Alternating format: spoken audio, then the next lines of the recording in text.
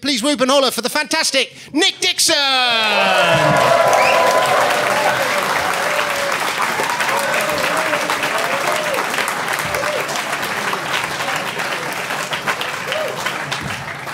Thank you. How's everyone doing? You all right?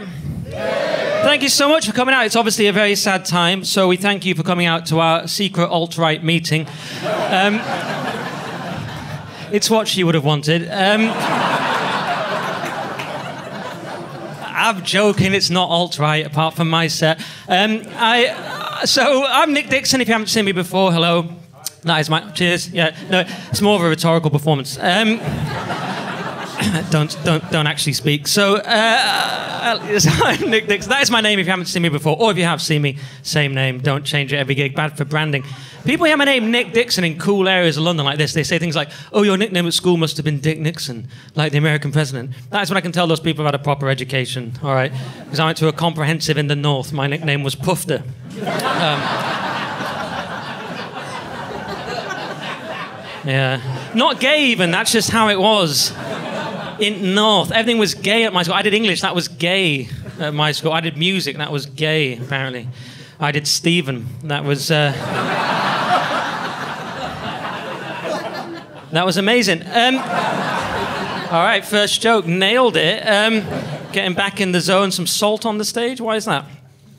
Good banter. I'm. Uh, I've actually, so the guys, this is my first gig back after five months off. I actually uh, retired from stand-up comedy, uh, and um, perhaps you can tell, I, uh, I, I, I, did stand-up for 11 years, was one of the best in the country. Who cares? Don't talk about it. But um, then I, uh, then I retired in April. No one noticed, and um, so I've come back.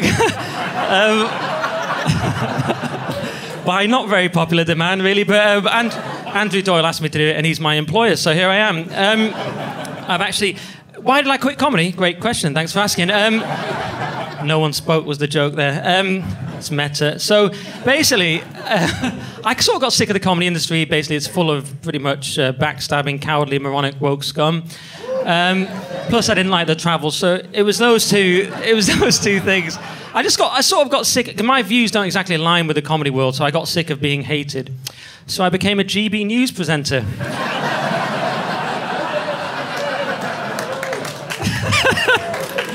And now I'm hated by a much broader demographic of people from all across the country and the world. We're online. So it's, it, I actually get hate mail now, believe it or not. Only, only about half of it is from my ex girlfriend. Uh, the other half's from Andrew Doyle. But it, it, it's, a tough, it's a tough job. It's, it's tough. But it's, I'm, you know, I feel I'm not in put it like this I'm a GB News presenting straight white male Christian. That's, I'm about the most hated, oppressed person in the country. It's, it's even weird to admit you're a Christian now. Not here, obviously, but like at the alt right gig. But like in, in normal rooms, if I say I'm a Christian, people get weird. Even my parents are not Christian. I told my dad I was Christian. He was so freaked out. I had to tell him I was gay just to take the edge off. I was like, Dad, I've met a man. He was like, Jesus Christ. I was like, Yeah, that's him. How'd you know? Nailed it. Um, can't say nailed it as a Christian because of the whole. There was a.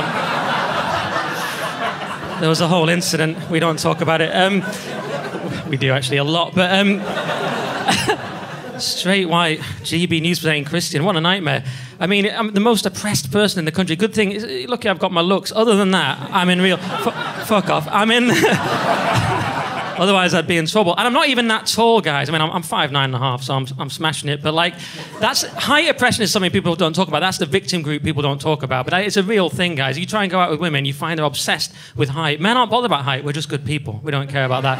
Do you know what I mean? Just good people. We care about your personality. My ex-girlfriend, she was five foot. I didn't even notice because she, she, she, had amazing personality. And um, amazing. But. Um, Women are obsessed with height. I had a date lined up with a very beautiful woman. She's a bit too good looking for me, but she wasn't that nice, so it sort of balanced out. And uh, just keeping it 100, guys, you know me. But it, we had a date lined up at like an exclusive club in like uh, Covent Garden and all this, all lined up perfectly fine. But then she messaged me just before the date. She goes, "Wait, how tall are you?" I'm like, "Why are we going on a fairground ride? Like, why?" And I literally texted that back to her because I'm a bit of a ledge. Um, yeah, ruined the date, but good bounce in it, lads. So I, I text her. She goes, Well, it's just that I, I, I, I normally go out with guys over six foot because I'm five six, but I normally wear heels. I'm like, You can't do that, can you? Like, yeah, I'm five nine, but I'm often on horseback. yeah. Soz. So, yeah, you've got to be at least eight foot two and uh, pretty fast at running. How quick are you over five furlongs? Because that's what I'm. That's what I'm looking for at this stage in my life. Must eat only sugar cubes. That's what I need. Hi. The other one is ghosting. That's a big thing now. If you don't know, you're not sure what ghosting is, that's where you're messaging someone, then they just don't get back to you for no reason, and you're like, fine, I'm just going to walk away. It's been six years, got my pride.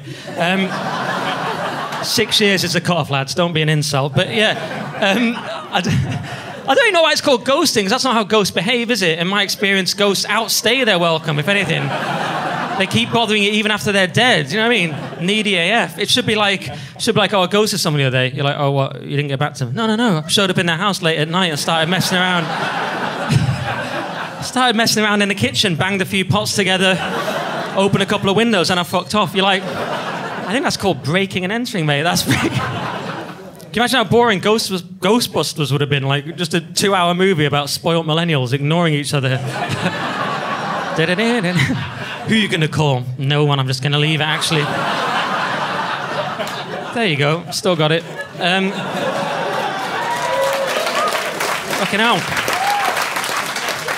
Why did I quit? I'm so good. Um, I uh, sorry, that, I lost the crowd. Um, I uh, yeah, I'm not that asked about dating anymore, guys, because I'm I'm well into my 30s now. Someone would argue 40, and I'm. I'm that joke's quite old, so I'm. Um, I'm, I'm not that bothered about dates and stuff. I'm much more bothered about property now. This is a big change in my life. Used to be on Tinder, now I'm all over Zoopla. Do you know what I mean? It's quite similar as well. You're swiping away, you find one you like, you get there, it's nothing like the picture. You know what I mean?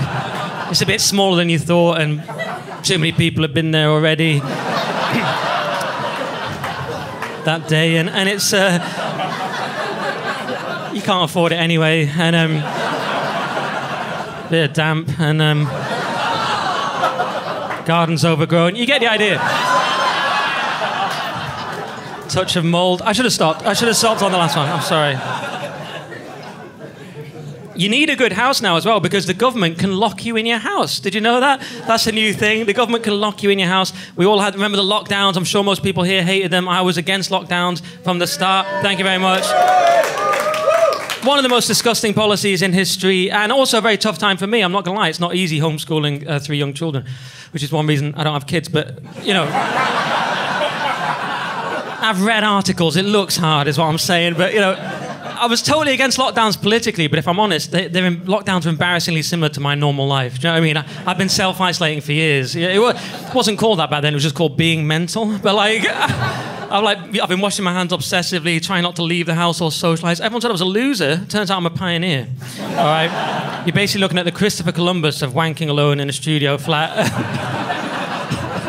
I'm joking. I've got a one bedroom now. I'm doing well. Um, I don't get it. People love lockdown. They, they, like all the polls they did, people actually like the lockdowns. The government locks you in your house and you actually like it. What is wrong with you? Why, how come Sweden is the only country that doesn't have Stockholm syndrome? That's what I want to know. Am I right? Thank you very much. A sort, of, a sort of reluctant clap, but it was clever enough that you had to do it. Um, all right, I've got to go in a minute. This has been a lot of fun, guys. I, I try and do, since lockdowns, I try and do a lot more things in my life. I'm like, I get out and do things. I, you know, present on a far right channel. I, I, uh, I, do, I, I, you know, I try and go to the cinema now because you you got to appreciate things. I was, to, I was trying to look for my local cinema listings recently, and actually, and I, someone had reviewed not the movies, but the building and the management of the building. And I've actually printed it out and brought it with me. I thought we could end on this classic. This is a real review that I've printed out because I'm so alone. Um, there's a real review of the Odeon where I live, right? Someone had written, as you'd expect, the concessions are priced astronomically highly, but they don't search on the way in, so it's easy to smuggle in a tray of sandwiches and a flask of tea.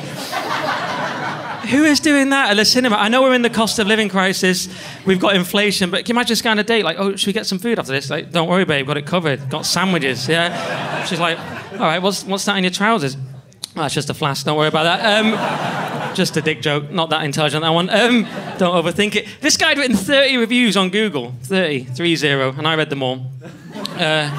Because he's a loser, not me. he reviewed London Zoo. How arrogant is that reviewing animals like, yeah, giraffes, three stars, nice trying nature, next for a bit long.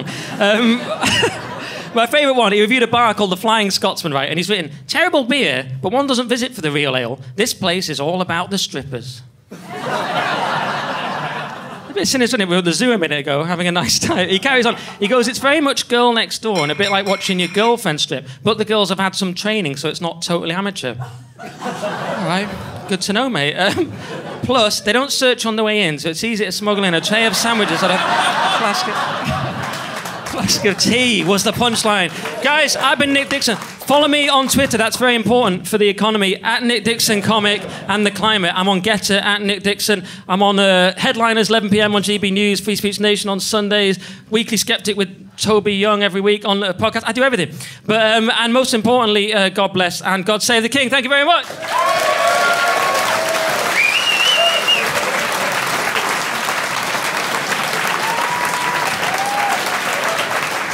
Nick Dixon, ladies and gentlemen.